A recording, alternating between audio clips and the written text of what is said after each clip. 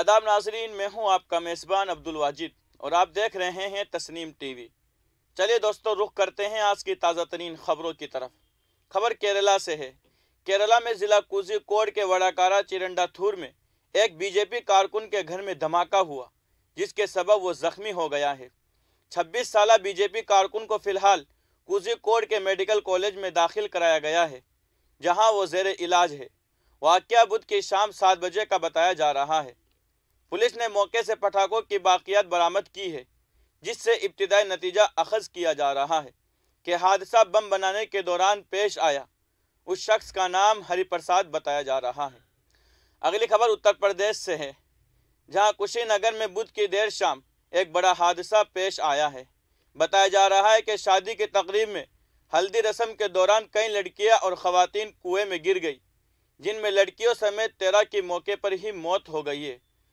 जबकि दो लोग शदीद जख्मी हो गए हैं। मीडिया रिपोर्ट्स के मुताबिक, हल्दी की तकरीब के दौरान कुएँ के जाली पर बैठकर खवातीन पूजा कर रही थी। उसी दौरान जाली टूटने से सब उस कुएँ में गिर गई। हादसे के बाद लोगों ने सबको कुएँ से निकाला और उनको जिला अस्पताल ले गए, जहाँ डॉक्टरों ने तेरह लोगों को मुर्दा करार दे दिया है। अगली खबर म्यांमार से है। म्यांमार का एक फौजी तैयारा बुध के रोज़ मुल्क के मगरब में एक झील में गिरकर तबाह हो गया है। इस हादसे के लिए मकामी मीडिया ने तकनीकी खराबी को जिम्मेदार ठहराया है।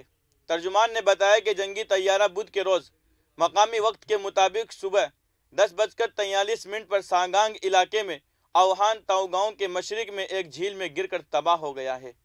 अगली खबर दारुल हुकूमत दिल्ली से है, जहाँ के प्रेस क्लब ऑफ़ इंडिया में कल ए पी सी आर की जानब से एक प्रेस कॉन्फ्रेंस का इनका किया गया, जिसमें शहरीत तरमीमी कानून के खिलाफ हुए एहतजाजी मुजाहरों के बाद मुसलमानों के खिलाफ योगी हुकूमत की जानब से किए गए जुल्म सितम पर एक रिपोर्ट पेश की गई है।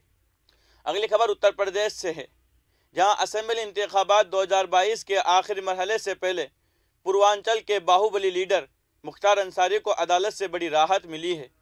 M P M L A अदालत ने गैंगस्टर एक्ट के एक मामले में मुख्तार अंसारी को एक लाख के ज़ाती मुचकले पर जमानत दे दी है।